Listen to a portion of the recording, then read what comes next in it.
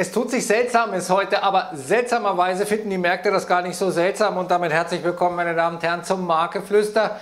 Wir haben zwei große Themen heute wieder. Einmal die Fed und Donald Trump und wir haben auf der anderen Seite den Handelskrieg. Fangen wir vielleicht mal mit dem durchaus seltsamen Treffen an, das heute zwischen äh, Donald Trump und äh, Fed-Chef Paul stattgefunden hat. Das ist insofern seltsam, als dieses Treffen nicht geplant war. Stand weder bei Paul noch bei äh, Präsident Trump irgendwie im äh, Kalender, war irgendwie nicht angekündigt, ist offenkundig äh, sehr schnell einberufen worden. Trump hat gesagt, komm mal vorbei.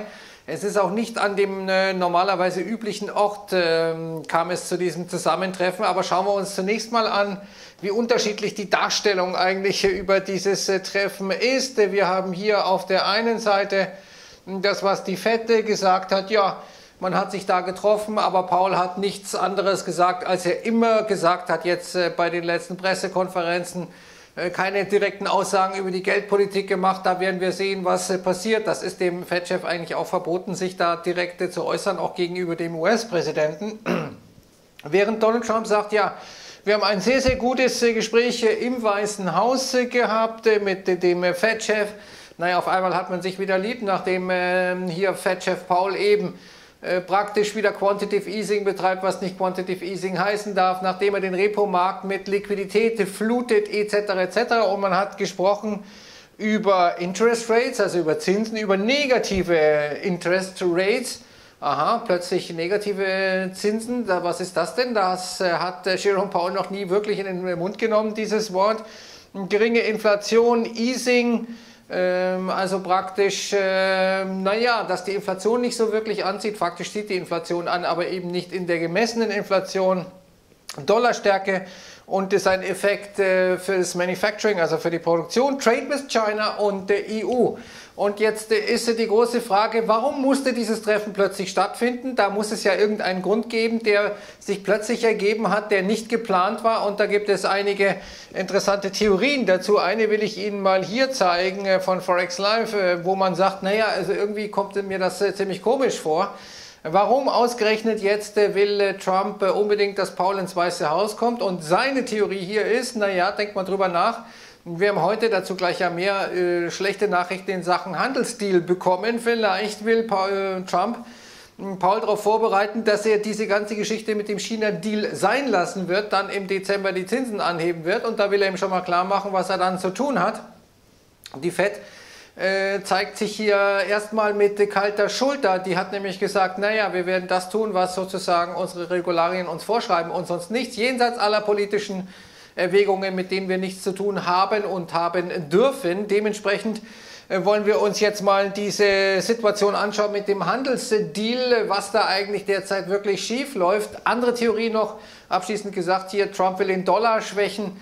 Ähm, es steht natürlich erstmal der Spekulation Tür und Tor offen, aber es ist schon ungewöhnlich, dass dieses Treffen stattgefunden hat. Die Wall Street, die denkt sich scheinbar nichts dabei und sagt, dann machen wir weiter wie bisher. Vielleicht gibt es ja, weil Finanzminister Mnuchin auch dabei war, irgendeinen Zusammenhang mit dieser ganzen Repo-Geschichte.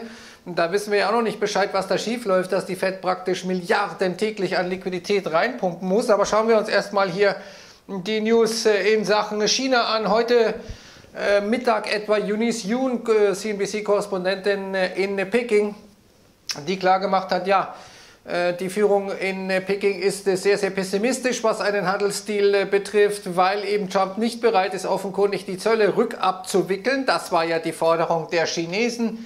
Und man will jetzt erstmal abwarten, wie das Impeachment-Verfahren ausgeht, will an, sich angucken, wie die Wahl 2020 verläuft. Wir können reden, aber ein Deal ist wahrscheinlich nicht mehr drin. So die Insider-Information. Äh, wir werden erstmal prioritize China Economic Support. Wir werden uns erstmal sozusagen jetzt dann fokussieren, wenn die Zölle eben nicht abgeschafft werden, auf die Unterstützung der chinesischen Wirtschaft.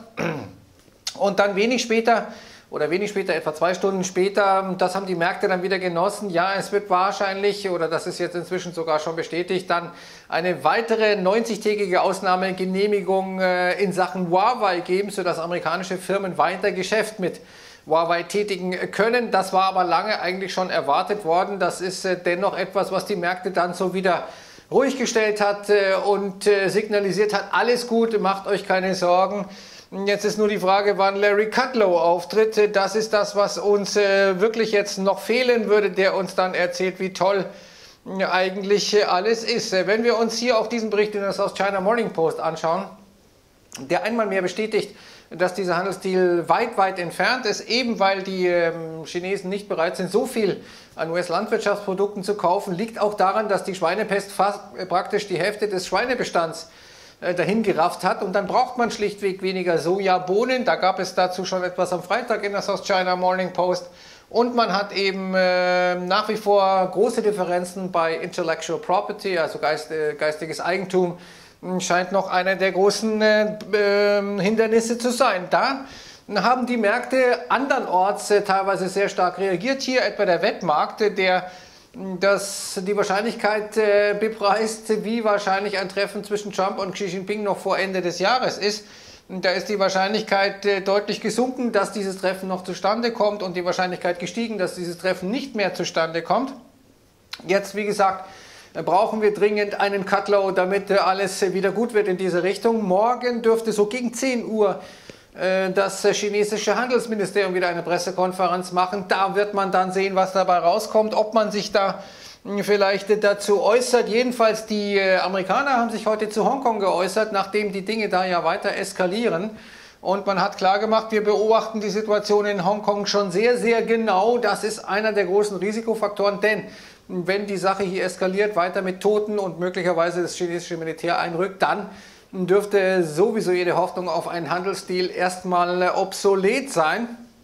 Jedenfalls ist das ein Thema, das jetzt äh, doch stark beachtet wird, nachdem äh, die Studenten sich in der Polytechnischen Universität verbarrikadiert, haben und die, äh, die Hongkonger Polizei eben hier umstellt hat. Äh, teilweise kommt es da zu bürgerkriegsähnlichen Auseinandersetzungen. Was haben wir noch? Wir sehen, dass wir vielleicht in Sachen Märkte jetzt nicht mehr so ganz günstig sind. Hier haben wir die sogenannte Price-to-Sales-Ratio im S&P 500, also Aktienpreis in Relation zu dem, was ein Unternehmen, dessen Aktien da an der Börse notiert sind, faktisch verkauft. Hier eine schöne Definition. Das ist ein Indikator, ähm, der praktisch äh, bewertet, wie jeder Dollar, den eine Firma einnimmt, wie der sich im Aktienkurs widerspiegelt. Und wir sehen, wir sind jetzt auf dem Niveau exakt von 2000. Nun gab es natürlich 2000 keine Blase, das wissen wir alle. Es gab dann auch äh, im Jahr 2007 keine Blase vor dem Platzen dieser Nichtblase ähm, damals äh, am US-Immobilienmarkt, so wie wir jetzt eben auch keinen QI haben, meine Damen und Herren. Das ist also alles natürlich eine Propaganda derjenigen, die es nicht allzu gut meinen mit den Bullen. Aber schauen wir uns die Kurse an, was wir hier sehen. Und die Charts sind, falls Sie es vergessen haben sollten, meine Damen und Herren, will ich es nochmal extra erwähnen, ja, weil ich weiß, dass da das Gedächtnis oft nicht lange ausreicht, aber die Charts sind von capital.com. Wir sehen hier den Dow Jones mit dieser roten Kerze.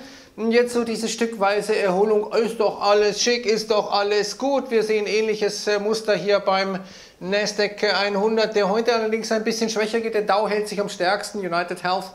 Außerdem Dow zieht äh, massiv nach oben. Wir sehen den S&P bei 3120. Der DAX ist schon länger nicht mehr so gut in Form. Der hat am Freitag den äh, deutlichen Anstieg der US-Indizes eigentlich nicht mitgemacht, ist jetzt wieder bei 13.000.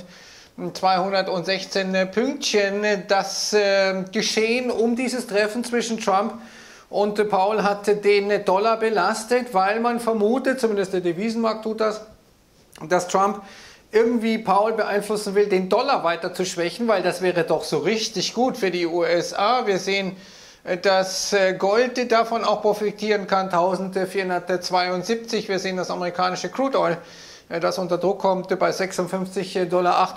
Ich wollte Ihnen noch eine Grafik zeigen, die ich für erwähnenswert halte, nämlich wir sehen, dass die Exporte von Dienstleistungen in den USA das erste Mal seit langer Zeit wieder rückläufig sind und das war eigentlich das Einzige, was die Handelsbilanz der Amerikaner noch irgendwie weniger schrecklich hat erscheinen lassen, als sie faktisch ist, denn man hat ja deutlich mehr exportiert äh, an Dienstleistungen, natürlich nicht an Waren, aber zumindest Dienstleistungen. Auch das ist jetzt vorbei. Gleichzeitig die Verschuldung wie eine Rakete nach oben. Grandiose Aussichten, über die wahrscheinlich Trump äh, unbedingt mit Paul reden wollte. Wir sollten äh, auch drüber reden. Äh, das zumindest habe ich vorhin getan und wünsche jetzt einen wunderschönen Feierabend und sage Servus und ciao.